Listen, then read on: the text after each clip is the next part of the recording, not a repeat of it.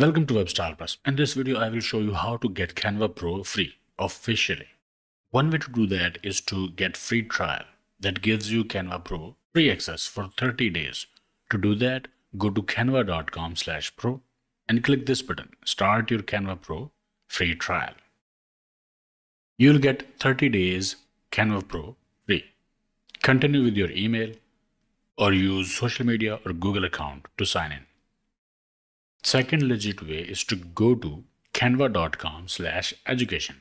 If you are a teacher, school or student, you can get Canva Pro 100% free. Just select a relevant option and apply to get free Canva. Third way to get Canva Pro for free is to go to canva.com slash Canva for nonprofits. If you are a nonprofit, they offer nonprofits free access to all the premium features of Canva Pro apply button is here. You can find all these links under plans menu on canva.com website.